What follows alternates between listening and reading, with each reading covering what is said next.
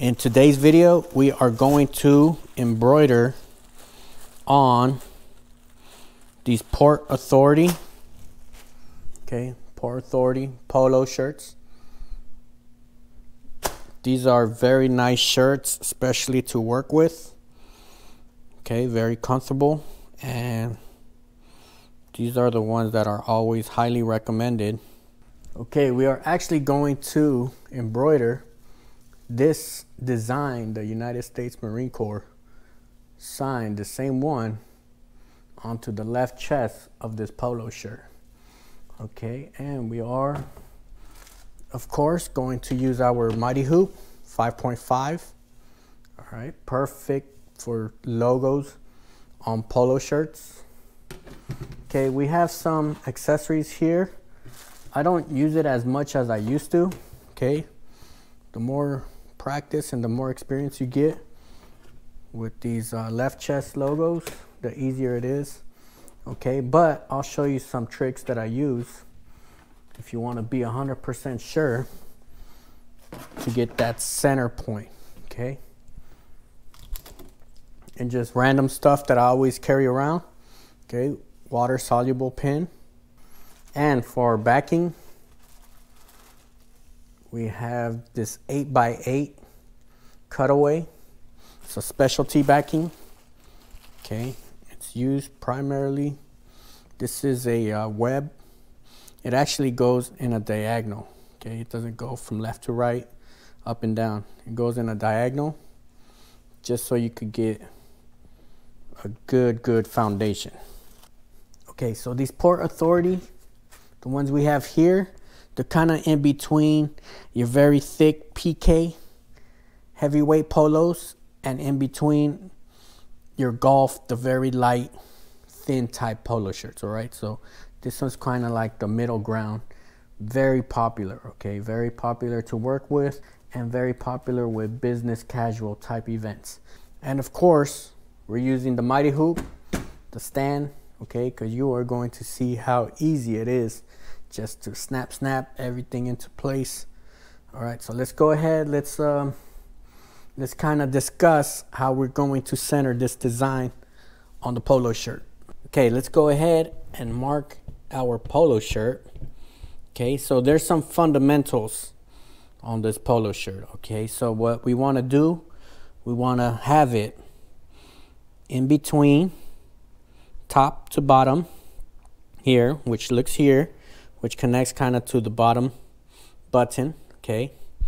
So that's halfway here to here, halfway, okay? We also want to be in between seven and a half, okay? So you want to be in between seven and a half to nine inches down. Now you could use this to kind of give you an idea of where that kind of sits at. Okay, so that starts from zero here. So, okay, so if we go all the way seven, kind of half or eight. We have a circular design here. Okay, so we kind of want to be in this area here. On the X axis, okay, we want to be about four to six inches out. Okay, so four to six. If you line this up, okay it'll tell you here's zero one two three four okay so we want to be in between here now whatever you do you do not want to lean towards the sleeve because what's going to happen is when somebody wears the shirt okay you don't want that design to hang low next to their arm okay so even though usually they say four to six inches you don't want to go in the deep end on the six inches. Okay, that's just there as a safety. Okay, but typically you want to stay within the four. All right. So, as you can tell, we're kind of like here, ballpark figure. Okay, that's, I'll use this just to kind of give me a rough idea to do some general measurements. Okay, this one here, ideally it's used to uh, you're supposed to line this up here okay with the button okay and if this is a large you would put large here So let's kind of see what that gives us. Okay, so you put large here, large here. So we could actually go with this large, okay? But if you have a smaller design, okay, if we have a smaller design, kind of a boxed one, then you might want to go with the smaller medium size, okay? In this situation, we have a circle, two and a half inches in circumference, okay? So it's actually gonna fit pretty good here.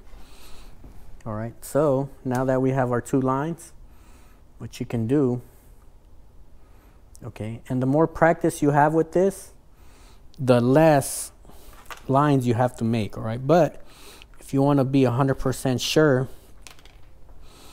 when you're doing your designs, okay, you could also have a reference here, okay? Your line should be straight. Once you see you're straight there, just mark your line. Okay. You can also use your uh, ruler that you get with your mighty hoops, okay? Because this is going to run parallel. Okay, if you want this line right here. That's your parallel line right there.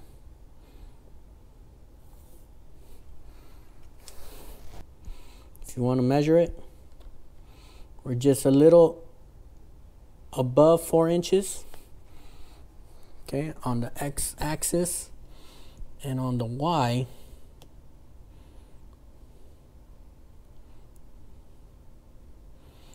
we're about eight inches okay so we are good to go let's go ahead and hoop it up okay and we're going to use our two pieces of backing cutaway okay this is the performance cutaway specifically for polo shirts and thinner type polo shirts. Okay, so make sure you get the eight inches, okay? Because if you get the seven inches, it's gonna be kind of loose here and you don't wanna risk it with anything being loose, okay? You always want your cutaway and everything else to be nice and firm, nice and tight. Now we are simply going to slide our shirt, okay, right over. I can move our hoop a little to the side. So let's go ahead and move it from 26 to 27.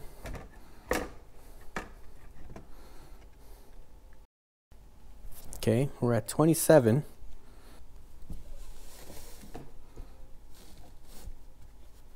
Okay, bam. This is perfect where we want to be. Okay, you can tell, you can first eye it and make sure that you're straight here with the buttons. Okay, but no matter what, we're still going to use our lines once we have it lined up. Okay, so this is like the preparation here You can kind of already see that our line should be good. Okay, so once you feel that your shirt is good to go, all we're gonna do is just snap this and okay, that's all it was. Okay, so line here, line here. Okay, if you wanna make sure you're good, you could just put this here. Okay, you could see. We are hooped in center and we are ready to take it to the machine.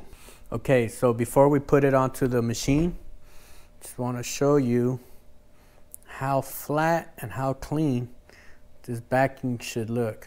Okay, so we know it's being held on all sides perfectly. Okay, that way we know there's no unnecessary shifting or anything. Okay, we are perfectly centered. Check this out. So on the Ricoma, I'm using the the Hoop C. That's 130 millimeters. Okay, perfect for this 5.5 mighty hoop. Okay, 130 millimeters is about five inches. Okay, so it works out perfect. All right, so let's go ahead and let's sew this out.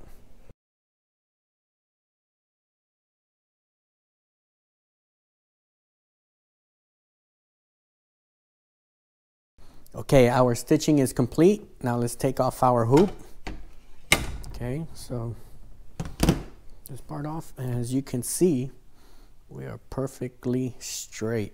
Our design, nice and clean, nice and flat. We used a 65.9 needle with a 60 weight thread to give us this nice detail. So let's get the GoPro and let's zoom in a little. Okay. Look at that. Perfect. Okay. Clean, clean, clean.